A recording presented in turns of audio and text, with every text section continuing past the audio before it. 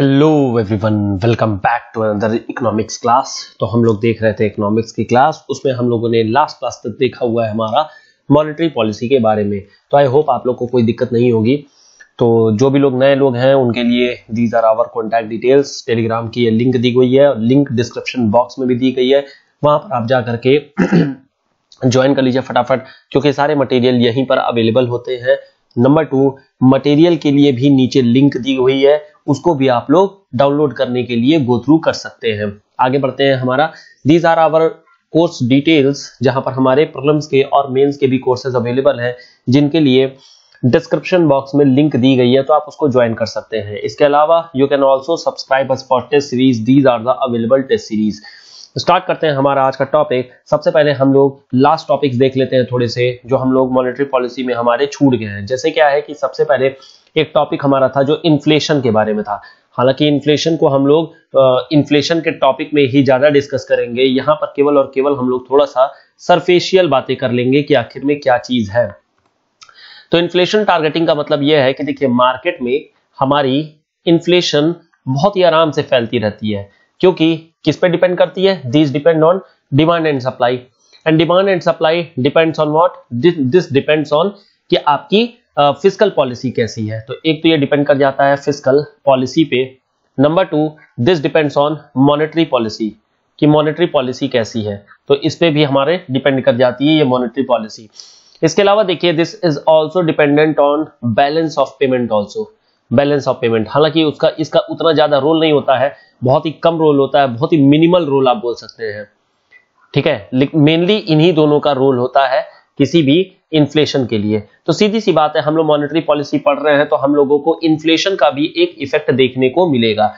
यहाँ पर physical policy में हम लोगों ने, जैसा कि लास्ट क्लास में भी डिस्कस किया हुआ था, कि फ़िज़िकल पॉलिसी में हम लोग फ़िज़िकल डेफिसिट थोड़ा सा रखते हैं नियर अबाउट थ्री परसेंट का रखते हैं, जिससे कि कंपटीशन अच्छा खासा मेंटेन हो। तो हम लोग कंपटीशन के लिए बेसिकली फ़िज़िकल डेफिसिट को बना करके रखते हैं। सिमिलरली इन्फ्लेशन भी हमारी कंपटीशन जनरेट करती है, और इसी वजह से हम लोग इन्फ्लेशन को भी टारगेट करते हैं कि थोड़ा मोड़ा इन्फ्लेशन मार्केट में रहना चाहिए। तो सिमिलरली इसी चीज़ को बोला जाता है कि inflation targeting a central bank has an explicit target inflation rate range जिस तरीके से फ़िज़िकल डेफिसिट में हम लोगों ने बात किया था कि ये नियर अबाउट थ्री परसेंट के आसपास होना चाहिए, जिससे कंपटीशन अच्छा मेंटेन हो। सिमिलरली इन्फ्लेशन में भी हमारे पास एक रेंज होती है। और इस रेंज पे ले आने के लिए ही हम लोग क्या करते हैं? टारगेट करते हैं। और यही हमारी आरबीआई सेंट्रल बैंक हमारी यही बोलती है। एंड वही चीज़ यहाँ पर भी बोला गया है। Government and RBI agrees on convergence between physical and monetary policy तो ये दोनों पॉलिसी यहाँ पर चेंज किए जाते हैं। अब देखिए, लगातार अब फ़िज़िकल पॉलिसी तो यहाँ पर गवर्नमेंट जो है अपनी बजट सेशन के दौरान में बता देती है। बजट सेशन के दौरान में हमारे डिफरेंट डिफरेंट पेपर्स होते हैं। जैसे मैक्रो इकोनॉमिक फ्रेमवर्क डेटा हो गया, फिर बजटरी डेटा हो गया। तो इस तरीके से हमारे ये सब चीज़ें कवर के लिए आती हैं। लेकिन जो मॉनिटरी पॉलिसी है, ये कैसे किया जाता है? पहले तो आरबीआई हुआ करती थी, लेकिन अब आरबीआई से यह हटा करके एक बॉडी बना दी गई है, जिसका नाम है एमपीसी या फिर मॉनिटरी पॉलिसी कमेटी यहाँ पर आरबीआई के भी मेंबर होते हैं और यहाँ पर गवर्नमेंट के भी मेंबर होते हैं। तीन मेंबर आरबीआई के होते हैं, तीन मेंबर गवर्नर के होते हैं। और इनका कास्टिंग वोट किया जाता है आरबीआई गवर्नर के द्वारा। क्या होती है? ये सारी चीज़ें हम लोग बात करेंगे जब हम लोग इन्फ्लेशन का टॉपिक पूरी डिटेल में देख रहे होंगे तो उसको हम लोग फ़िलहाल वहीं पर डिस्कस करेंगे। ये टॉपिक जो है इन्फ्लेशन में हम लोग डिस्कस किया जाएगा। इसके बाद हमारा आता है twin balance sheet problem twin balance sheet challenge इसका मतलब क्या है? मैंने आप लोग को डे वन बताया हुआ था कि इकोनॉमी किस तरीके से वर्क करती है। तो ये जो हमारी इकोनॉमी है दिस इज़ आवर इकोनॉमी और बाहर से हमारी कौन सी बॉडी हो जाती है? बाहर हमारी बॉडी हो जाती है आर बी आई तो this is our economy clear अब यहाँ पर देखिए इंडस्ट्रीज़ हैं। हियर बैंक्स हैं। बैंक्स के अलावा इंडस्ट्रीज़ हैं। इंडस्ट्रीज़ के अलावा पब्लिक है। पब्लिक के अलावा गवर्नमेंट है। This is public actually public है और फिर गवर्नमेंट है। तो बैंक्स क्या करती हैं? इंडस्ट्रीज़ को लोन दे रही होती हैं। इंडस्ट्रीज़ जैसे ही लोन पाती हैं, वैसे ही अपना काम करना शुरू कर देते हैं। काम करने के लिए ये लोग पब्लिक को हायर करते हैं। मतलब कि इंप्लॉयमेंट क्रिएट कर रहे होते हैं। जैसे ही ये लोग इंप्लॉयमेंट पाते हैं सैलरी वाली पाते हैं, ये सैलरी अपनी चले आते हैं बैंक में डिपॉजिट करने के लिए। तो बेसिकली यहाँ पर क्या है? डिपॉजिट सैलरी डिपॉजिट सैलरी अब यहाँ पर बेसिकली बात क्या है कि बैंक के पास पैसा आ रहा है बैंक वाले पैसा दे रहे हैं। हेल्दी सिस्टम कोई दिक्कत नहीं है। लेकिन अगर कोई लोन लेने वाला बंदा डिफ़ॉल्ट कर जाता है लोन वापस नहीं देता है तो यानी इंप्लॉयमेंट भी जनरेट नहीं हो पाया, यानी कि पब्लिक पैसा नहीं पाई, यानी कि बैंक में पैसा आगे जाकर के जमा नहीं हो पाया and that is how bank came under stress इस तरीके से बैंक स्ट्रेस में आ जाता है। तो ये जो हमारी साइकिल है, वो फिर ब्रेक हो जाती है। और जैसे ही ये साइकिल ब्रेक होती है, अब ये साइकिल कभी आगे नहीं बढ़ पाती है, क्योंकि यहाँ पर प्रॉब्लम आ गई है। क्योंकि ये लोग आगे लोन नहीं दे पा रहे हैं, क्यों नहीं लोन दे पा रहे हैं? क्योंकि इनका पुराना डिपॉजिट नहीं हो पा रहा है। तो इस तरीके से यहाँ पर बेसिकली सिंगल चैलेंज नहीं, यहाँ पर डबल चैलेंज हो जाता है कि bank are not getting investment इनके पास इन्वेस्टमेंट नहीं आ पा रही है और इन्वेस्टमेंट ना आ पाने के कारण से ये लोग आगे लोन भी नहीं दे पा रहे हैं और इसी को बोला जाता है twin balance sheet challenge it deals with the balance sheet of Indian companies and Indian bank तो this is how the thing is जहाँ पर इंडस्ट्री भी ग्रो नहीं कर पा रही है और ना बैंक ग्रो कर पा रहा है, जिसके कारण से ना इन्वेस्टमेंट आ पा रहा है, क्योंकि ये बेसिकली इंडस्ट्रीज़ या फिर इंडस्ट्रियल कंपनीज़ के द्वारा ही की जा रही होती हैं। तो ये लोग कर नहीं पा रहे हैं इन्वेस्टमेंट तो इस वजह से लोन भी नहीं दिया जा पा रहा है। इसी को बुलाता है twin balance sheet problem clear हो गया क्या चीज़? है इसके बाद आगे बढ़ते हैं। अब देखिए उर्जित पटेल कमेटी 2014 में बनाई गई थी। इस समय ये हमारे डिप्टी गवर्नर हुआ करते थे। और इन्होंने इन्फ्लेशन को टारगेट करने के लिए एक रेंज बताई। इन्फ्लेशन की एक रेंज बताई, जिससे कि मार्केट में अच्छा खासा कंपटीशन जनरेट किया जा सकता है। और इन्होंने इस रेंज के बारे में बोला कि देखिए इन्फ्लेशन को हमें four percent plus minus two percent रखना है। यानी कि इसकी वैल्यू कहाँ से कहाँ वेरी कर सकती है? टू परसेंट से सिक्स परसेंट तक ये इन्फ्लेशन हम लोग कैरी कर सकते हैं। दिस इसको बोल सकते हैं हम लोग की हेल्दी इन्फ्लेशन है। This is healthy inflation and with this inflation market is going to be highly competitive बहुत ही कंपिटिटिव हो जाएगी मार्केट तो ये रखा गया है। Clear nominal anchor should be defined in terms of headline inflation अब ये हेडलाइन इन्फ्लेशन क्या होती है? कोर इन्फ्लेशन क्या होती है? सारा कुछ हम लोग बात करेंगे अपने इन्फ्लेशन के टॉपिक में। बस छोटी सी चीज़ बता देता हूँ। हेडलाइन इन्फ्लेशन का मतलब होता है कि बहुत ज़्यादा जो वोलाटाइल होता है। मतलब जहाँ पर वेरिएशंस काफ़ी ज़्यादा देखने को मिलते हैं। जैसे ऑयल की प्राइस हो गई फ़ूड की प्राइस हो गई तो बेसिकली यहाँ पर ऑयल पेट्रोल और फ़ूड प्राइस ये सब जोड़ा जाता है। दूसरा होता है जो कोर इन्फ्लेशन होती है। जो कोर इन्फ्लेशन होती है, इस कोर इन्फ्लेशन में ये काफ़ी ज़्यादा स्टेबल होती है। स्टेबल। और स्टेबल होने के कारण का मतलब क्या है कि यहाँ पर ऑयल और फ़ूड की प्राइस को नहीं जोड़ा जाता है, एक्सेप्ट कर दिया जाता है, घटा दिया जाता है। तो this is except oil and food price तो इस तरीके से चीज़ें होती हैं। दिस इज़ मोर स्टेबल ठीक है? हालाँकि इसकी डिटेलिंग हम लोग बात करेंगे जब हम लोग इन्फ्लेशन का टॉपिक देख रहे होंगे। क्लियर हो गया? आगे बात करते हैं। इसके बाद देखिए मॉनेटरी पॉलिसी में कुछ छोटे छोटे टर्म्स है, जैसे एक होती है जिसको ओवर लेवरेज कंपनी बोलते हैं। ओवर लेवरेज कंपनी की जगह पे आप बोल सकते हैं जो डेप्ट ट्रैप में फंस गई कंपनीज़ है डेप्ट ट्रैप में, उसी को हम लोग बोल सकते हैं कि ये ओवर लेवरेज कंपनी है। मतलब क्या है इसका? मतलब इसका यह है कि सपोज़ किसी कंपनी ने, किसी कंपनी ने मान लेते हैं हंड्रेड करोड़ का लोन लिया है हंड्रेड करोड़ लोन और इसकी जो इंटरेस्ट बैठ रही है, वो मान लेते हैं इंटरेस्ट टेन लाख रुपीज़ पर पर ईयर बढ़ रही है। ठीक है? पर ईयर तो ये आप इनका प्रिंसिपल अमाउंट प्रिंसिपल अमाउंट तो हमारा हंड्रेड करोड़ है ही। साथ में इंटरेस्ट हर साल दस लाख रुपए बढ़ जा रहा है दस लाख पर ईयर ठीक है? और मान लीजिए दस इन्होंने अगर मान लीजिए कि दस साल के लिए लिया है तो total hundred lakh hundred lakh जो होता है ये आ, मतलब इनका इंटरेस्ट हो गया। हंड्रेड क्या मतलब ट्वेल्व दस साल के लिए लिया है तो दस साल का ये हो गया दस लाख रुपए है तो हंड्रेड लैक्स हो गया। तो हंड्रेड लैक्स मतलब कि एक करोड़, और यानी कि क्या हो गया, एक सौ एक करोड़ रुपए इनका टोटल के टोटल देना है। तो अगर ये कंपनी ये दस लाख जो एनुअल है, ये अगर नहीं दे पा रही है, इनका इंटरेस्ट भी अगर नहीं दे पा रही है इंटरेस्ट लेने के लिए भी, देने के लिए भी ये लोग लोन ले रहे हैं अगर तो इस तरीके के कंपनी को बोलते हैं कि ये डेप्ट ट्रैप में फंस गई है, या फिर कंपनी ओवर लेवरेज हो गई है।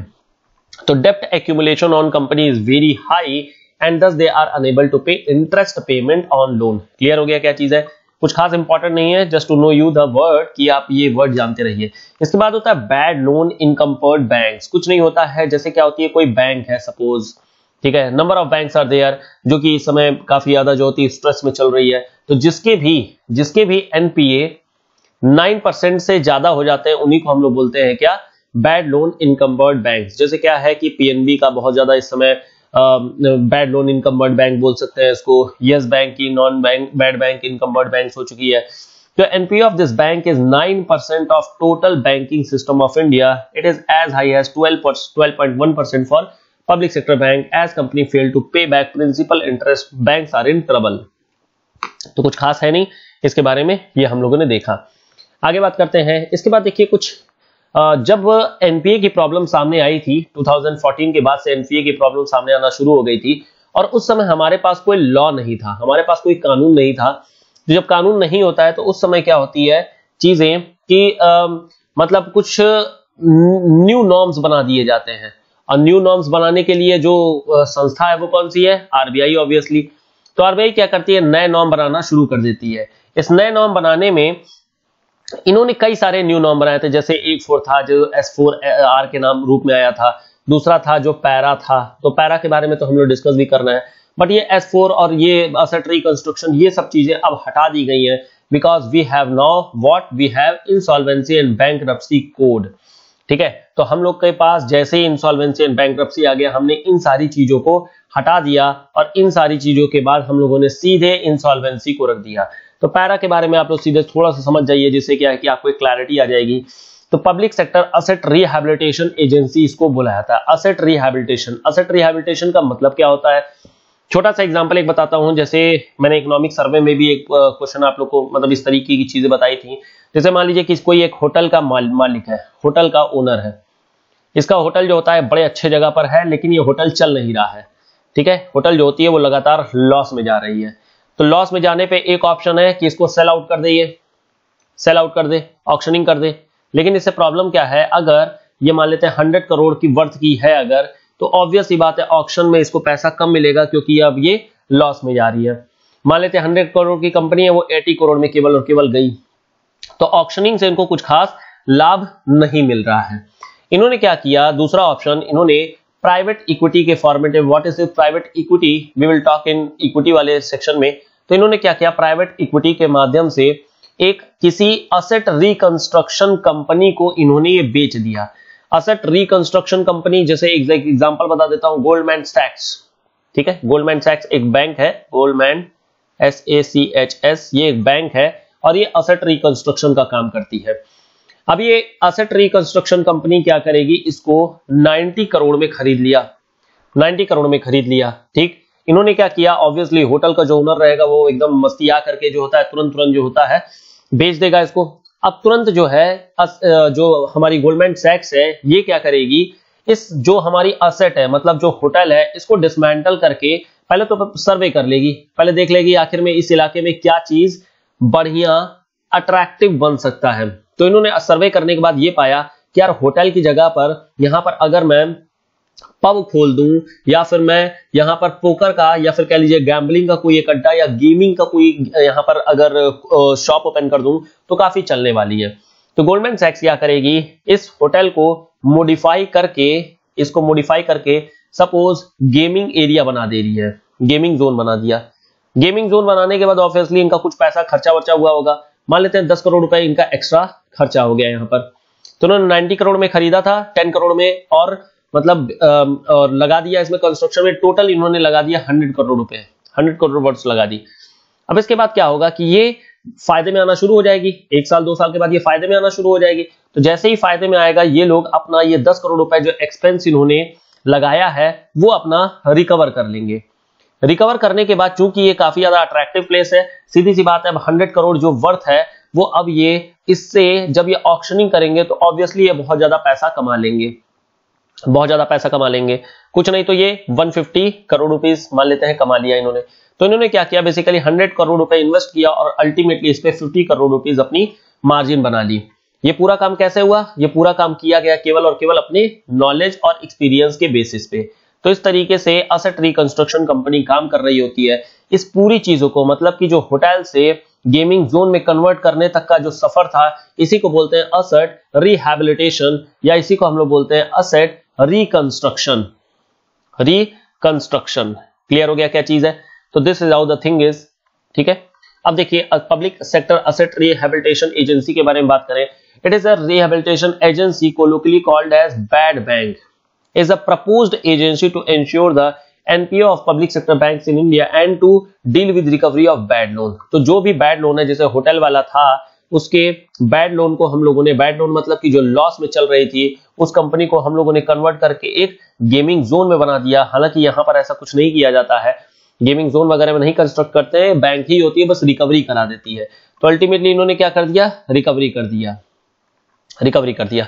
तो इस तरीके से पूरा का पूरा सिस्टम वर्क करता है। हालाँकि इसको भी हटा दिया गया है। अब इसकी जगह पर IBC insolvency and bank code ही काम कर रही होती है। तो हम लोग जरा इंसॉल्वेंसी एंड बैंक कोड के बारे में भी बात करते हैं। इससे पहले जो होता है, एक छोटा सा term helicopter hover of money ठीक है? अभी जैसे क्या है कि कोरोना फैला हुआ है। कोरोना फैलने में अब क्या है कि जो हायर क्लास है, उनके पास भी इस समय पैसे की कमी आना शुरू हो गई है। क्योंकि उनके पास सीधी सी बात है अर्निंग का सोर्स इस समय काम कर नहीं रहा है और एक्सपेंडिचर उतना ही बढ़ा हुआ है। सिमिलरली जो पुअर क्लास या कह लीजिए कि लोअर क्लास के लोग हैं, इनके पास तो और ज़्यादा प्रॉब्लम हो गई है। तो what government can do government अभी आपने देखा होगा कि गवर्नमेंट जो पुअर क्लास के लोग हैं, उनको पाँच पाँच रुपए या फिर हज़ार हज़ार रुपए इनके अकाउंट में ट्रांसफ़र करा दी है। तो ट्रांसफ़र करा दिया तो अब गवर्नमेंट के पास पैसा जो होता है, वो नहीं रह गया। इनके पास अब पैसे की कमी हो गई है। तो अब क्या कर सकती है government government always have option of RBI और आरबीआई के ऑप्शन है पैसा नया प्रिंट कर देते हैं। क्या दिक्कत है? नया प्रिंट कर देते हैं। लेकिन एक्चुअली प्रॉब्लम क्या है? नया पैसा प्रिंट नहीं किया जाता है। खैर चलिए, मान लेते हैं पैसा प्रिंट कर दिया गया गवर्नमेंट के पास बहुत सारा पैसा और आ गया हमारे पास और गवर्नमेंट अब क्या कर रही है? हर एक क्लास को पाँच पाँच सौ एक एक हज़ार रुपए देना शुरू कर दे रही है। तो इस तरीके से नया नोट प्रिंट करके लोगों में पैसा पहुँचा देना इसी को बोला जाता है। Helicopter hover of money helicopter hover of money मतलब कि ऊपर हेलीकॉप्टर इस तरीके से है।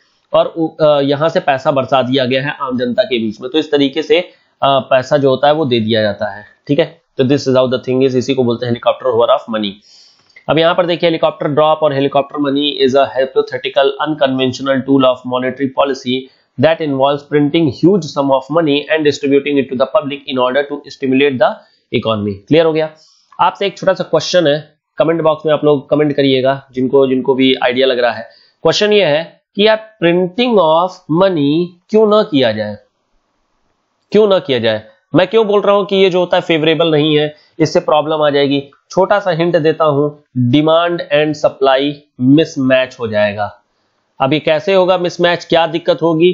कमेंट बॉक्स में आप लोग बताइएगा जिनको जिनको समझ में आता है। देखिए कमेंट बॉक्स में क्वेश्चन मैं इसीलिए बोलता हूँ ताकि आप लोग थोड़ा सोचें और एक कंपटीशन मेंटेन करें, एक हेल्दी कंपटीशन मेंटेन करें आपस में, ठीक है? तो इस तरीके से ठीक चीज़ें। इसके बाद आगे आता है this is out the again it is repeating इसके बाद आता है हमारा आरबीआई के बारे में। आरबीआई के बारे में हम लोग जरा देख लेते हैं। अब देखिए आरबीआई को स्टैब्लिश की गई थी आरबीआई एक्ट 1934 के द्वारा। गवर्नमेंट ऑफ़ इंडिया एक्ट 1935 में मतलब 1935 में हम लोगों ने आरबीआई को स्टैब्लिश कर लिया था। हम लोग जब अंडर ब्रिटिश रूल हुआ करते थे। लेकिन आफ्टर इंडिपेंडेंस हमने इसको नेशनलाइज कर दिया 1949 में और हमने बोल दिया कि अब आरबीआई एक इकोनॉमी को वॉच ओवर करेगा इकोनॉमी मतलब अब आरबीआई अलग से बैंक की तरीके से काम नहीं करेगा। ये केवल और केवल अब वॉचडॉग रहेगा, ये एक मॉनिटरिंग एजेंसी रहेगी और ये एक तरीके से कह सकते हैं बैंकर्स ऑफ़ बैंक रहेगा। क्लियर तो इस तरीके से ये चीज़ बना दी गई। बाकी govern by central board of directors it it is the central bank of India and is regulator and control of banking system ये सब तो आप जानते ही हैं। आपको ये पता होना चाहिए कि ये कब नेशनलाइज किया गया था? फ़र्स्ट जनवरी 1949 को ये नेशनलाइज किया गया था। और बाकी बनाया कब गया था? 1935 में बनाया गया था और इस एक्ट के थ्रू बनाया गया था। क्लियर हो गया क्या चीज़? है अब आगे बात होती है कि आरबीआई का काम क्या है। तो आरबीआई का काम होता है सबसे पहले बैंक ऑफ़ इश्यू अगर मान लीजिए किसी को कोई दिक्कत होती है बैंक को, जैसे मान लेते हैं कि अभी जैसे यस बैंक के साथ प्रॉब्लम हुई थी। यस बैंक में एक प्रॉब्लम हो गई थी। यस बैंक में जैसे ही प्रॉब्लम हुई, तुरंत के तुरंत आरबीआई ने इसको अपने संज्ञान में लिया, अपने कंसिडरेशन में लिया और उसके बाद से इस पे मेजर्स लगाना शुरू कर दिया। And this is how healthy bank फिर जो होता है, यस बैंक को फिर से वापस से हेल्दी बना दिया गया। इस तरीके से चीज़ें कर दी गई हैं। तो ये मेजर लिए जाते हैं बैंक ऑफ़ इशू ये होता है दूसरा बैंकर्स टू गवर्नमेंट सीधी सी बात है, अगर गवर्नमेंट को कोई दिक्कत होती है, कोई ज़रूरत होती है या फिर इकोनॉमी को कोई ज़रूरत होती है तो आरबीआई ही काम में आती है। यहाँ पर repo rate reverse repo rate MSF आप इन सारे कंसेप्ट को यहाँ से रिलेट कर सकते हैं। नेक्स्ट होता है bankers bank and lender of large store सीधी सी बात है, एक तरीके से क्या हो गया? एमएसएफ मार्जिनल स्टैंडिंग फैसिलिटी जो हम लोगों ने बात किया हुआ था कि जब भी एसबीआई के पास जैसे पैसा खत्म हो गया था तो उन्होंने किससे मांग लिया था? आरबीआई से। क्लियर नेक्स्ट है कंट्रोलर ऑफ़ क्रेडिट अब देखिए क्या होता है कि कितना लोन देना है, कैसे देना है, ये सारा का सारा बताया जाता है आरबीआई के द्वारा। और इसी के लिए हम लोगों ने क्या डिस्कस किया था लास्ट क्लास में? जैसे बेस रेट के बारे में हम लोगों ने बात किया था मार्जिनल एमएसएलआर एमसीएलआर के बारे में बात किया था marginal cost of marginal cost based lending rate के बारे में बात किया था। फिर मैंने आप लोग को बताया था कि this has become flexible lending rate के हो गया है। इसके अलावा देखिए agent and advisor to the government कई बार क्या होता है कि ये आरबीआई uh, जो होती है वो बता रही होती है गवर्नमेंट को कि what are the conditions what are the prevailing conditions in the economy and what steps you should take ठीक है? तो ये सब चीज़ें बताई जा रही होती हैं हमारे आरबीआई के द्वारा, कैसे करना है, क्या करना है, ये सारी चीज़ें।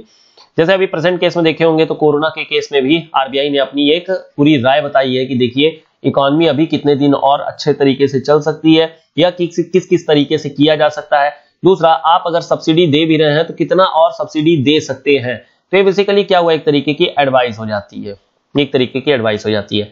नेक्स्ट है नेशनल क्लियरिंग हाउस तो इसमें कुछ खास नहीं है नेशनल क्लियरिंग हाउस में ये बेसिकली क्या होती है कि सारी इकोनॉमी की चीज़ों को बता रही होती है। तो इकोनॉमिक इश्यूज़ को, सारे इकोनॉमिक प्रॉब्लम्स इश्यूज़ सबको ये बता रही होती है। तो इसका कुछ खास मतलब नहीं है, हम लोग आगे बढ़ते हैं।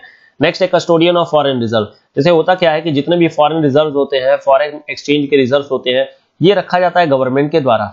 मतलब ये होती है गवर्नमेंट के ओनरशिप में। ये होती है गवर्नमेंट के ओनरशिप में। लेकिन एक्चुअल में क्या होता है? गवर्नमेंट के बिहाफ पे गवर्नमेंट के कहने पे on the behalf of government RBI अपने पास रखता है ताकि इस चीज़ को केवल और केवल सेफ़ मेंटेन किया जा सके। बस। लेकिन अगर कल को क्वेश्चन आता है कि foreign exchange foreign exchange reserve पे किसकी ओनरशिप है तो ओनरशिप आप बताएँगे गवर्नमेंट ऑफ़ इंडिया की रहती है। बस ये क्या है? उनके नाम पे रख लेते हैं। इसके अलावा कुछ सुपरवाइजरी फ़ंक्शन होते हैं, जैसे आप लोगों ने एक सुना होगा पब्लिक क्रेडिट रजिस्ट्री पीसीआर या फिर प्रॉम्प्ट करेक्टिव एक्शन ठीक है? तो दोनों अलग अलग चीज़ें हैं प्रॉम्प्ट करेक्टिव एक्शन इसका मतलब क्या है? करंट अफेयर्स में आपने पढ़ा होगा। इसमें क्या होता है कि जब भी आरबीआई को लगता है कि कोई बैंक गड़बड़ काम कर रहा है या कोई चीज़ ऐसी है जो नहीं करना चाहिए तो आरबीआई तुरंत उनपे मेजर्स ले लेता है और तुरंत उनको बताता है कि देखो, ये काम ना करो, ऐसे कर लो, वैसे कर लो। मतलब एक तरीके से कह सकते हैं कि this is father of a bank when the child या फिर कह सकते हैं बैंक जब भी कोई गलत काम करता है तो हमेशा फादर उसको डायरेक्ट करता है, बताता है कि क्या काम करना चाहिए, क्या नहीं करना चाहिए। पब्लिक क्रेडिट रजिस्ट्री का मतलब होता है लोन को किस तरीके से देना है मतलब लोन क्रेडिट के बारे में इन्होंने एक पूरा का पूरा इंफॉर्मेशन कनेक्शन सेंटर बना दिया है। तो जैसे अगर कोई बंदा कहीं पर भी डिफ़ॉल्ट किया या कहीं से भी लोन लिया है, तुरंत के तुरंत दूसरे बैंक को भी पता चल जाएगा। इस तरीके से सुपरवाइजरी रोल होल्ड कर रहा होता है। नेक्स्ट होता है प्रमोशनल फ़ंक्शंस तो कई सारे प्रमोशंस भी किया जाता है आरबीआई के द्वारा। जैसे आरबीआई ने अभी रिसेंट में मनी ऐप निकाला है, मैंने आप लोगों को करंट अफेयर्स में बताया भी था, जहाँ पर बेसिकली क्या है, जितने भी ब्लाइंड लोग हैं, जो भी डिसेबल्ड है, जो नहीं देख सकते हैं, उनको एक मोबाइल ऐप प्रोवाइड की गई है, उस ऐप के ज़रिए ये लोग मतलब देख रहे हैं कि नोट में क्या चीज़ है कैसे है, कितने का नोट है, ये सब चीज़ें प्रमोशनल बता दी जाती हैं। इसके बाद देखिए नेक्स्ट एक छोटा सा कंसेप्ट है जो नेशनलाइजेशन ऑफ़ बैंक्स है। देखिए, ये सब चीज़ें हम लोग को कुछ खास नहीं पढ़नी होती है, क्योंकि हम लोगों को देना है पेपर सिविल सर्विसेज़ एग्जामिनेशन का। हम लोगों को ना तो कोई बैंक्स का पेपर देना है और ना ही आरबीआई ग्रेड बी या ग्रेड ए कोई भी पेपर देना है। ये सारा का सारा आपके सिलेबस में इसी वजह से उतना कुछ खास नहीं है। आपको केवल और केवल एक आइडिया होना चाहिए, एक ओवरव्यू होना चाहिए, बस और कुछ नहीं। तो अगर बात करते हैं नेशनलाइजेशन ऑफ़ बैंक में तो देखिए, सबसे पहला बैंक जो बनाया गया था बीआई एक्ट 1955 हालाँकि सबसे पहला जो बैंक था वो थी पीएनबी और ये बनाई गई थी किसके द्वारा? ये बनाई गई थी लाला लाजपत राय के द्वारा। लाला लाजपत राय के द्वारा बैंक बनाया गया था। ठीक है? लेकिन जो नेशनलाइज बैंक हो गया था, तीन बैंकों को मिला करके, तीन इंपीरियल बैंकों को मिला करके एक बैंक बनाया गया था। अब फ़र्स्ट नेशनलाइज बैंक बना था हमारा स्टेट बैंक ऑफ़ इंडिया और इसको बनाया गया था State Bank of India Act 1955 के द्वारा 1955 में। इसके बाद कई सारे मर्जर्स कई सारे जो होते हैं मर्जर्स किए गए थे नेशनलाइजेशन किया गया था उसमें। Partially nationalise at more private banks via the SBI associate act 1959 and name them as the associate of SBI जैसे क्या है State Bank of Hyderabad State Bank of Bikaner ये सब चीज़ें यहाँ पर देखने को मिल जाती हैं, इस तरीके की चीज़ें। Not dependent you can skip it इसके अलावा देखिए with the banking nationalisation act 1969 the government nationalised 14 banks 1969 में पहले 14 बैंक्स को नेशनलाइज कर दिया गया था और 1980 में फिर छह और एक्स्ट्रा बैंक को नेशनलाइज कर दिया गया and this is how nationalisation of bank हो रहा है। इसके अलावा आप बोल सकते हैं कि नेशनलाइजेशन का काम हमें 2015 से लेकर के 2018 के बीच में भी देखने को मिला था। लेकिन यहाँ पर हम लोग पार्शियल नेशनलाइजेशन करते हैं। पार्शियल नेशनलाइजेशन करने का मतलब क्या है? यहाँ पर देखिए कई सारे बैंकों का आपको मर्जर देखने को मिला था।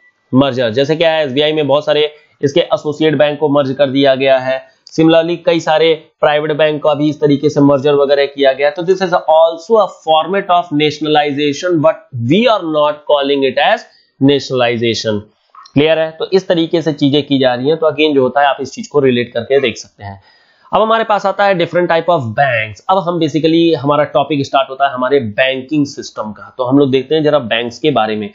तो देखिए we have number of banks in our economy कई तरीके के बैंक होते हैं। जैसे, अगर देखा जाए केवल और केवल बैंक्स कितने तरीके के हैं तो एक होता है जिसको बोला जाता है scheduled commercial bank scheduled commercial bank तो बेसिकली ये जो शेड्यूल्ड कॉमर्शियल बैंक होते हैं, ये बैंक होते हैं। मतलब एक तरीके से कह सकते हैं फुल फ्लेजेड बैंक होते हैं।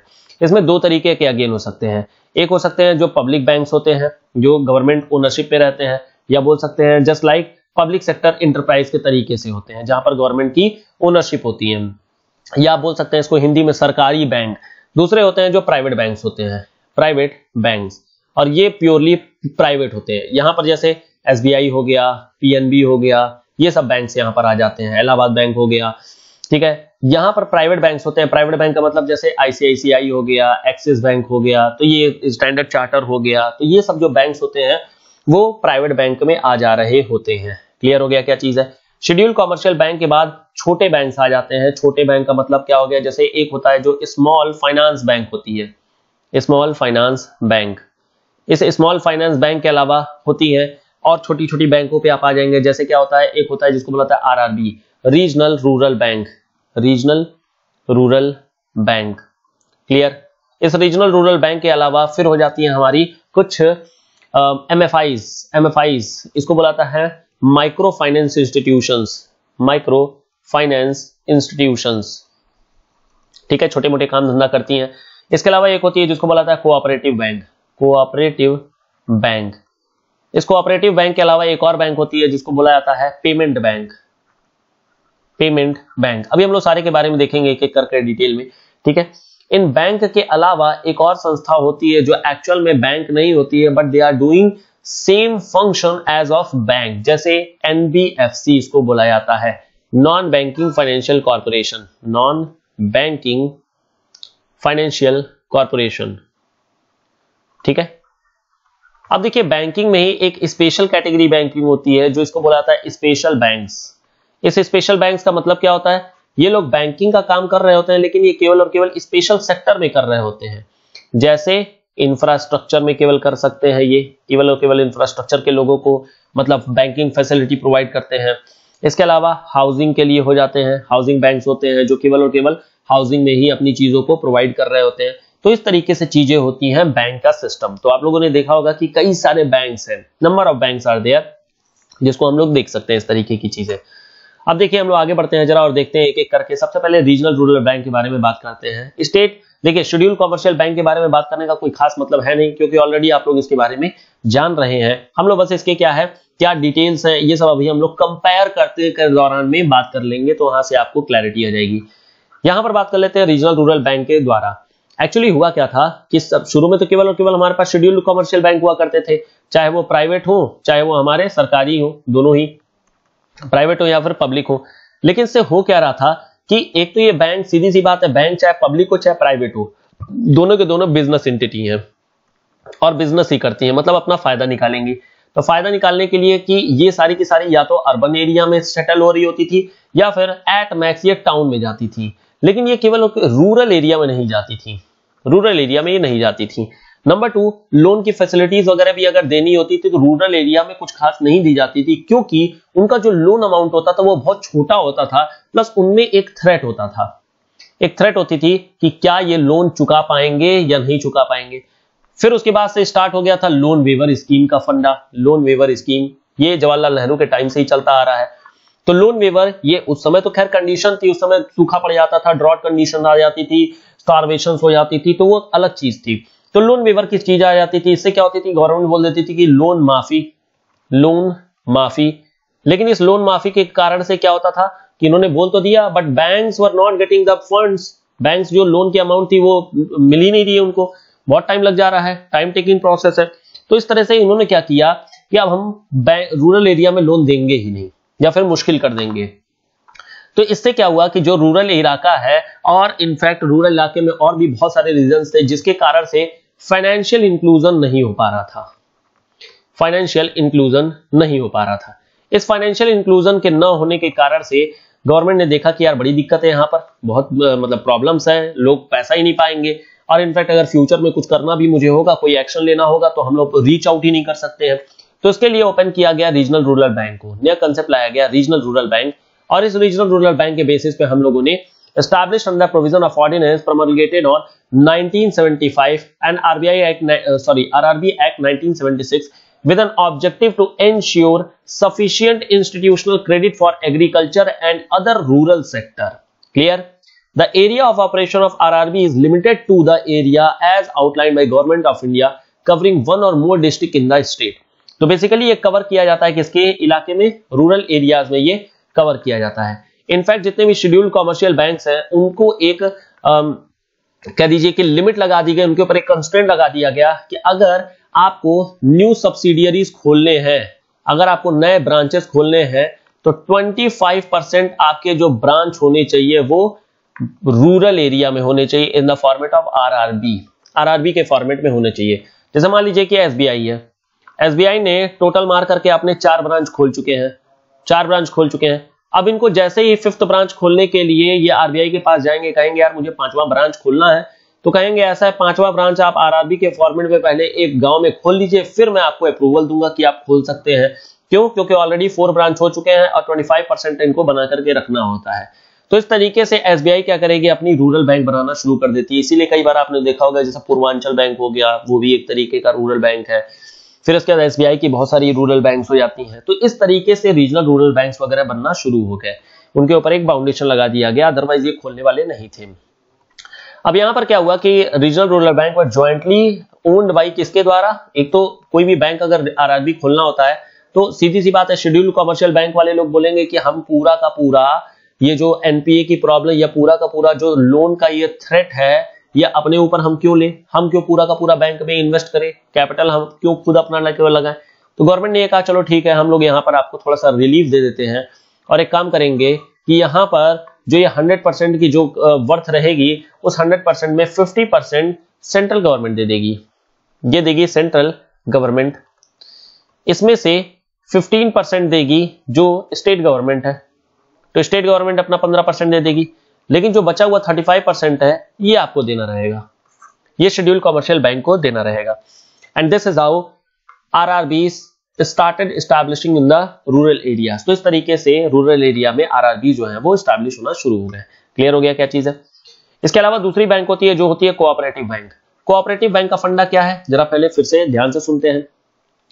एक चीज़ होती है, जिसको बोलाता है self help group S H G इसको बोलाता है सेल्फ हेल्प ग्रुप अब जैसे मान लेते हैं कि रूरल इलाके में क्या हुआ? रूरल इलाके में बहुत सारे, जैसे क्या है कि चाहे मेन हो, चाहे फीमेल हो मेल हो चाहे फीमेल हो, दोनों लोग क्या है कि एग्रीकल्चर ही मेन एक्टिविटी है। और इस एग्रीकल्चर में क्या होता है? टाइम बहुत मिलता है। क्यों? क्योंकि यहाँ पर होती है, एक चीज़ होती है, इसको बोला था सीजनल अनएम्प्लॉयमेंट सीजनल अनएम्प्लॉयमेंट एक चीज़ होती है, हम लोग बात करेंगे क्या चीज़ होती है। सीजनल अनएम्प्लॉयमेंट के दौरान में ये लोग खाली बहुत बैठे रहते हैं। तो खाली बैठेंगे तो एक ऑप्शन है कि पंचायत करिए, पंचायत कर ठीक है? या फिर दूसरा ऑप्शन है कि आप कुछ प्रोडक्टिव वर्क करिए। तो देखिए, महिलाएँ क्या है? थोड़ी सी प्रोडक्टिव वर्क ज़्यादा करती हैं। तो महिलाओं ने क्या किया? चार पाँच लोगों के ग्रुप ने आए और कहा कि यार देखो, ऐसा है यार, घर पे बैठे बैठे यार मज़ा नहीं आ रहा है। एक काम करते हैं, एक कुछ धंधा करना शुरू करते हैं, कुछ काम धंधा करना शुरू करते हैं। तो इनमें से एक ने बोला कि यार चलो ऐसा है, आम का अचार बना देते हैं। आम का अचार ठीक है? पिकल्स पिकल्स बनाना शुरू कर देते हैं। तो इन्होंने कहा कि यार देखो, ऐसा है, पैसा कहाँ से लेके आएँगे? सबने कहा ऐसा है, सब लोग अपने अपने पति देव से सौ सौ रुपए मांगेंगे। तो सौ सौ रुपए मांग करके इनके पास आ गया पाँच सौ रुपए। ठीक है? पाँच लोग हैं, पाँच लोग मान लेते हैं। तो पाँच सौ रुपए आ गया। पाँच सौ रुपए से इन्होंने क्या किया? पहले आम की चीज़ें खरीदी और जितने भी रॉ मटेरियल इनको चाहिए, जितनी भी चीज़ें चाहिए, वो सारी चीज़ें इन्होंने खरीदा। और इन्होंने क्या किया? फोर फिफ्टी रुपीज़ इन्वेस्ट किया है, फिफ्टी रुपीज़ अपने पास सेव करके रख लिया कि चलो फ्यूचर में कोई ज़रूरत होगी तो हम लोग फिर से कुछ खरीद भेज लेंगे। और इस तरीके से उन्होंने क्या कर लिया? पिकल जो इनको बनाना था, वो पिकल इन्होंने बना लिया। पिकल बनाने के बाद इन्होंने क्या किया? मार्केट में इसको सेल करना शुरू कर दिया। मार्केट में सेल किया, काफ़ी अच्छा बिका। अब बिकने के बाद क्या हुआ कि इन्हें आठ सौ रुपए प्राप्त हुए। तो फिफ्टी रुपीज़ मान लेते हैं कि ट्रांसपोर्ट में इन्होंने खर्चा कर दिया। तो टोटल इनके पास मार्जिन कितना आ गया? तीन सौ रुपए। एंड दिस इज़ हाउ ये जो ग्रुप है वो एक प्रॉफिट कमा लिया। अब जैसे ही प्रॉफिट कमाएँगे वैसे ही क्या हो जाएगी? अब ये ग्रुप जो इन, मतलब इनफॉर्मली ग्रुप है लेकिन क्या है कि अब इनको एक कह लीजिए मोटिवेशन मिल जाएगा और ये ज़्यादा अच्छे तरीके से और काम करना शुरू कर देंगे। और ये अल्टीमेटली क्या हो जाएगा? ये ग्रुप आगे जाकर के बिज़नेस एंटिटी बन जाती है। बिज़नेस एंटिटी काफ़ी अच्छा चीज़ है बहुत अच्छा इसको बोल सकते हैं कि ये आंट्रप्रनरशिप का एक तरीका है। और इसलिए गवर्नमेंट भी जो है इसी तरीके की चीज़ों को ज़्यादा से ज़्यादा प्रमोट करने की कोशिश कर रही है। तो ये होता है जो सेल्फ हेल्प ग्रुप होती है। सिमिलरली एक चीज़ होती है जिसको बोला है कोऑपरेटिव कोऑपरेटिव कोऑपरेटिव ये एक तरीके की एसएचजी ही होती है। बस अंतर क्या होता है कि इनको ये लोग रजिस्टर्ड होते हैं। ये लोग रजिस्टर्ड होते हैं। जैसे फॉर एग्ज़ाम्पल यहाँ पर क्या है? कोऑपरेटिव्स में क्या है? कोऑपरेटिव में क्या हुआ? कि यहाँ पर महिला भी आ सकती है मेल भी आ सकते हैं फीमेल्स भी आ सकते हैं, कोई भी हो सकता है, ऐसे कोई बाउंडेशन नहीं है। Article number twenty four article number fourteen है यहाँ पर। तो मेल्स और फीमेल्स इन्होंने क्या किया? मेल ने अपना ग्रुप बनाया या फीमेल ने अपना ग्रुप बनाया? लेकिन क्या है यहाँ पर लोगों को एक ट्रस्ट प्रॉब्लम है। ट्रस्ट प्रॉब्लम पैसा लेके कोई भाग गया या कोई अपना काम नहीं किया, कोई कुछ नहीं हुआ, दिक्कत हो गई। इन्होंने क्या किया? कहा कि चलो ऐसा है, सबसे पहले रजिस्टर कर लेते हैं अपने आप को। तो ये लोग रजिस्टर कर लिए जाकर के एग्रीमेंट साइन कर लिया एग्रीमेंट साइन करने के बाद सारे लोग बाउंड हो गए। अब कोई भाग नहीं सकता है, कोई पैसा लेके भाग नहीं पाएगा। तो कोऑपरेटिव अब एक रजिस्टर्ड एंटिटी बनने के बाद ये लोग अपना वर्क करना शुरू कर देते हैं। वर्क करते हैं तो चूँकि ये अगर रजिस्टर्ड है तो गवर्नमेंट को इनके गवर्नमेंट को जानकारी है इनके बारे में तो गवर्नमेंट बहुत सारे बेनिफिट्स इनको देना शुरू कर देती है। एसएचजी को क्यों नहीं बेनिफिट दे रही थी? क्योंकि भाई जानकारी में ही नहीं है, पता ही नहीं चल रहा है कि कौन धंधा कर रहा है, क्या पानी कर रहा है, क्या कुछ कर रहा है। तो यहाँ पर बेनिफिट्स गवर्नमेंट देना शुरू कर देती है। इनफैक्ट इस बेनिफिट में फाइनेंशियल हेल्प भी प्रोवाइड की जाती है। फाइनेंशियल हेल्प तो इस तरीके से कोऑपरेटिव और एसएचजी में this is the main difference जहाँ पर इन दोनों चीज़ों के बारे में डिफरेंस हो जाता है। दिस द रजिस्टर्ड एंटिटी और वहाँ पर कोई एसएच रजिस्ट्रेशन वगैरह नहीं होता है। क्लियर हो गया क्या चीज़? है हालाँकि बाद में कोऑपरेटिव सोसाइटी को 97th कॉन्स्टिट्यूशनल अमेंडमेंट एक्ट के थ्रू इसको 2011 में इसको कॉन्स्टिट्यूशनल स्टेटस दे दिया गया। कॉन्स्टिट्यूशनल स्टेटस ठीक है? कॉन्स्टिट्यूशनल स्टेटस दे दिया गया और इनको जो होता है मतलब फंडामेंटल राइट भी दे दिया गया डीपीएसपी भी दे दिया गया कि अब ये कॉन्स्टिट्यूशनल स्टेटस इनका रहेगा, इस तरीके से चीज़ों को किया जाएगा। अब क्वेश्चन ये होता है कि जो फाइनेंशियल हेल्प है, ये प्रोवाइड कहाँ से की जाएगी? इसके लिए गवर्नमेंट ने क्या किया? एक कोऑपरेटिव बैंक बना दिया। कोऑपरेटिव बैंक अब ये कोऑपरेटिव बैंक ऐसा तो है नहीं कि 97 कॉन्स्टिट्यूशनल अमेंडमेंट एक्ट 2011 के बाद ही बनाएँगे, नहीं फाइनेंशियल एक्ट तो पहले से ही प्रोवाइड की जा सकती थी। तो इन्होंने कोऑपरेटिव बैंक बहुत पहले ही खोल दिया था।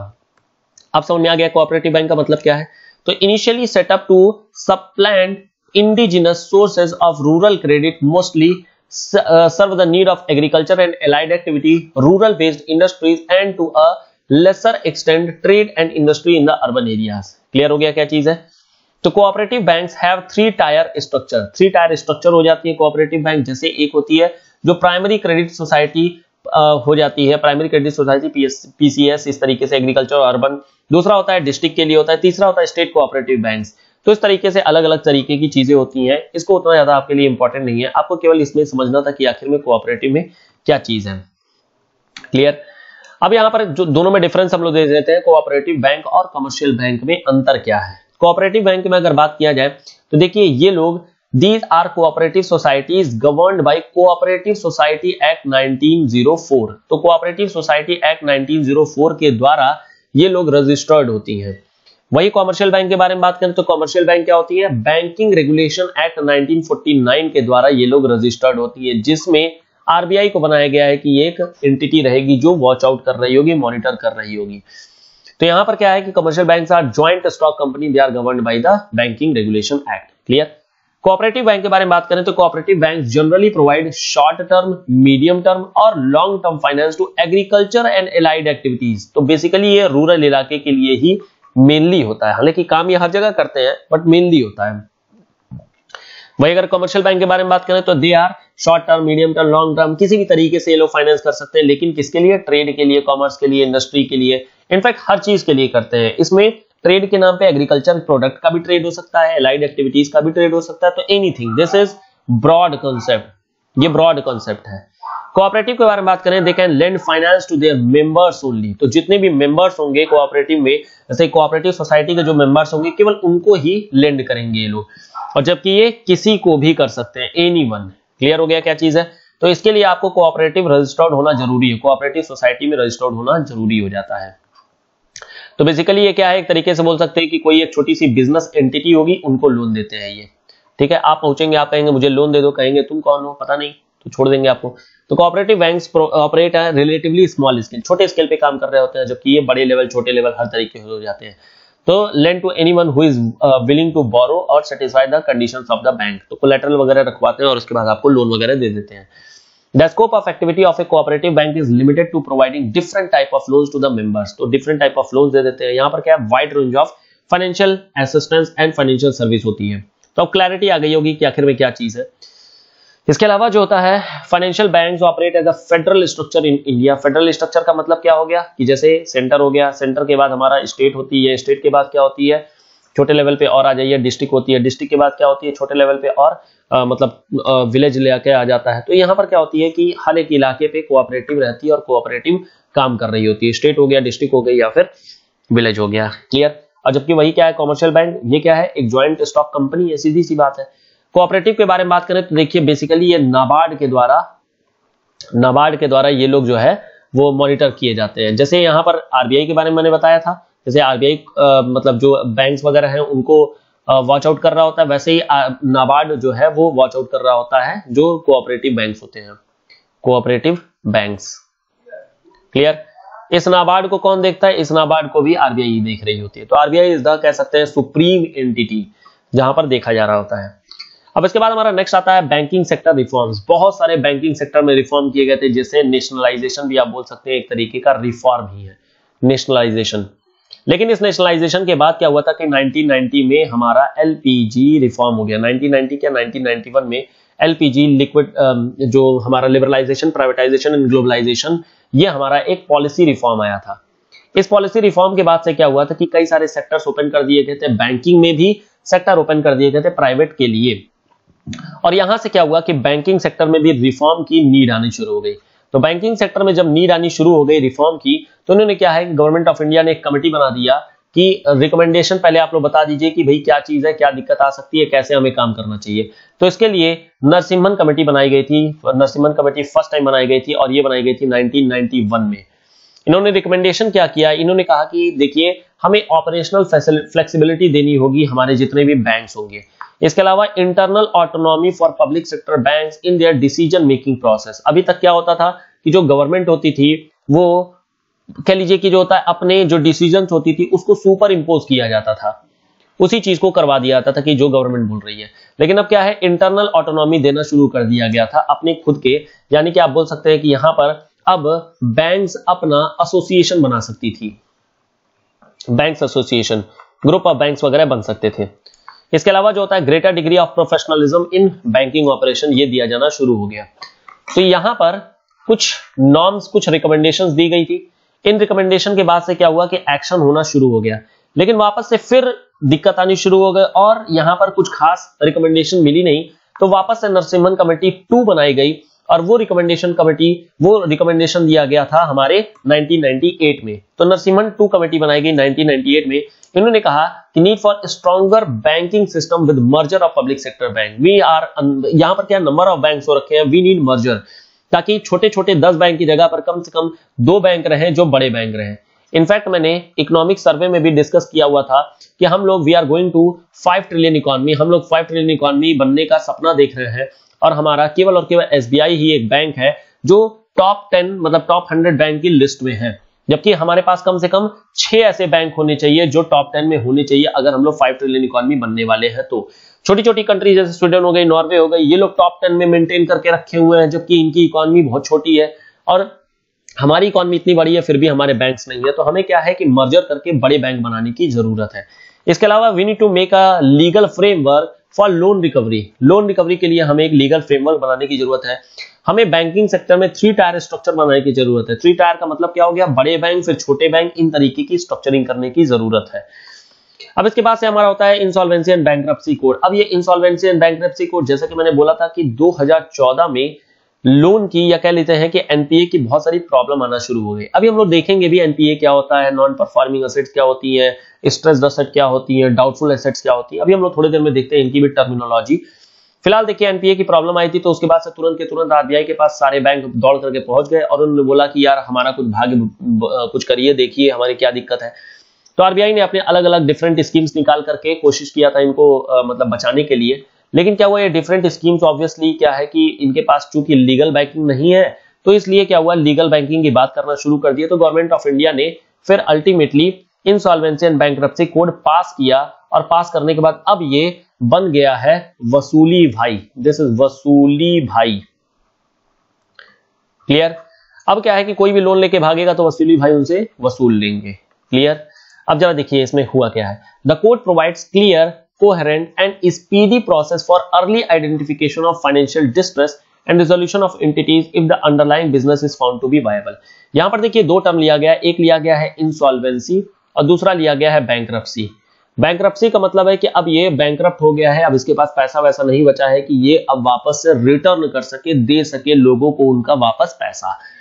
लेकिन इंसॉल्वेंसी का मतलब होता है कि अभी कंडीशन गड़बड़ हुई है, लेकिन बैंक्रप्ट नहीं हुई है। यानी कि अभी ही आइडेंटिफाई अगर कर लिया जाए तो अब बैंक्रप्ट होने से बचाया जा सकता है। मतलब बैंक्रप्ट होने से पहले की कंडीशन को ही बोला जाता है insolvency it suggest two option restructuring जैसे क्या है, मान लेते हैं इंसॉल्वेंसी हो गई है तो एक ऑप्शन है कि वापस से इनको नया दौर में लेके आया जाए। नया दौर का मतलब क्या हो गया? यहाँ पर न्यू वर्जन कुछ ना कुछ चीज़ की जाए, जैसे न्यू वर्जन में आ जाए। और उसको बोलते हैं हम लोग रीस्ट्रक्चरिंग थ्रू रीस्ट्रक्चरिंग किया जाए मतलब कुछ नए चेंजेस किए जाए जिसके थ्रू ये मोर अट्रैक्टिव हो और ज़्यादा से ज़्यादा लोन ले मतलब लोन देना शुरू कर दे या फिर किसी तरीके से इनके पास डिपॉजिट आना शुरू हो जाए। मतलब इनके पास क्या है? भगवान का एक हाथ पड़ जाए और इनके पास पैसा हाथों, रातों रात आना शुरू हो जाए। If the firm is viable and liquidation is not possible financially viable clear एक तरीका ये हो जाता है। दूसरा तरीका खैर होता ही है कि आरबीआई इसको कंट्रोल में अपने ले ले। फिर आता है the new code will replace existing bankruptcy laws and cover companies अब ये बैंक्रप्सी लॉ क्या है? बैंक्रप्सी लॉ वही जो लोन के लिए हम लोगों ने लीगल फ्रेमवर्क बोला था ना 1998 में हमारे नरसिम्हन कमेटी ने तो इसको बना दिया गया था 2000 के अराउंड अराउंड में और इस तरीके से हमारी ये बैंक्रप्सी के लॉस चल रहे होते थे। लेकिन ये बैंक्रप्सी लॉज एनपीए की प्रॉब्लम को कभी सोचा भी नहीं था कि ऐसा भी हमारे माल्या साहब कर जाएँगे तो इनको आइडिया नहीं था कुछ भी कि इस तरीके की चीज़ें हो सकती हैं। Limited liability partnership partnership firms and other corporate person and individual and any other body specified by the government तो ये तरीका मतलब नया कोड जो होता है वो कवर कर रहा होता है हर एक तरीके को मतलब हर एक चीज़ को। तो many act will be substituted guided by the insolvency and bank code on bank matter as it consolidate improve the existing laws तो नए लॉज बनाए गए हैं। टाइम फ्रेम इसमें क्या है? इसमें बैंक कोड में है क्या? बैंक कोड में ये है कि आपका जो भी जो भी मुद्दा है, जो भी मामला है, वो जल्दी से जल्दी निपटाने की कोशिश की जाएगी। तो 180 days after the process is initiated मतलब इनको 180 डेज़ का मौका दिया गया है। मतलब कह सकते हैं कि सिक्स मंथ का मौका दिया गया है कि ये लोग फटाफट करके अपना डिसीज़न दे दे। डिसीज़न आ जाए। मतलब कि ये टाइम बाउंड मैनर में इनका सबसे मेन इंपॉर्टेंट यही चीज़ है कि टाइम बाउंड मैनर में यहाँ पर कार्यवाही की जाती है। लेकिन ऐसा तो है नहीं कि जल्दीबाजी में फटाफट कर दिया जाए। इन्होंने क्या है कि एक बफर टाइम भी दिया हुआ है मतलब एक एक्स्ट्रा एक्सटेंडेड एक्सटेंशन भी दिया है और वो दिया है थ्री मंथ का। थ्री मंथ का मतलब क्या हो गया? नाइनटी डेज़ नाइनटी डेज़ का इन्होंने एक्सटेंशन दिया है। मतलब कह सकते हैं कि नाइन मंथ में इनका डिसीज़न आना ही आना है। तो ये तरीका अपनाया गया इस इंसॉल्वेंसी एंड बैंक के द्वारा। इस बैंक्रप्सी में बेसिकली चार पिलर्स हैं। Four pillars are there one is insolvency and bankruptcy board of India जो कि अल्टीमेटली बॉडी का नाम है, जो ओवरऑल मतलब इंडिया लेवल पे काम कर रही होती है। इस बोर्ड में कुछ प्रोफेशनल्स हैं। प्रोफेशनल्स हैं और ये प्रोफेशनल्स बेसिकली यही इंसॉल्वेंसी का काम कर रहे होते हैं। बेसिकली बोल सकते हैं वसूली भाई लोग यही हैं। इसके अलावा इनके पास कुछ एजेंसीज भी होती है जो इन जिसको बुलाता है इंसॉल्वेंसी प्रोफेशनल एजेंसीज और कुछ इंफॉर्मेशन यूटिलिटीज भी होती हैं जिनके थ्रू ये इंफॉर्मेशन निकाल रहे होते हैं इंसॉल्वेंसी की कंडीशन को वॉच आउट कर रहे होते हैं। इसके अलावा creditors and also borrowers can initiate the IBC proceeding creditor and borrow can initiate the IBC proceeding कुछ खास है नहीं, देखिए प्रोविजंस के बारे में बताया गया तो हम लोग इसको स्किप करते हैं। हालाँकि मैंने आईबीसी के बारे में इकोनॉमिक सर्वे में बहुत ही डिटेल में बनाए बता रखा है। और ये डिटेलिंग आप लोग, जो लोग नहीं देखे हैं, ऊपर देखिए आई बटन बन के आ रहा होगा। इसको आप लोग क्लिक करके वॉच आउट कर सकते हैं। यहाँ पर मैं नहीं बता रहा हूँ। Bankruptcy code has provision to address cross border insolvency through bilateral agreement with other countries तो दूसरे कंट्री में अगर कोई भाग गया है तो वहाँ से भी हम लोग एक्स्ट्राडिशन ट्रीटी वगैरह के तहत उनको बुला करके हम लोग एग्रीमेंट कर सकते हैं। Workers interest are highly protected under the law तो वर्कर्स के प्रोटेक्शन को हम लोग इस तरीके से काफ़ी ज़्यादा मेंटेन करके रखे हुए हैं। तो this is all thing about this insolvency and bankruptcy code video काफ़ी लंबी हो रही है तो हम लोग इसको यहीं पर स्टॉप करते हैं। इसके पार्ट टू में हम लोग देखेंगे बाकी के बैंकिंग प्रोविज़न तो हम लोग उसमें देखते हैं बाकी की चीज़ें। चले फिर हम लोग पार्ट टू में मिलते हैं।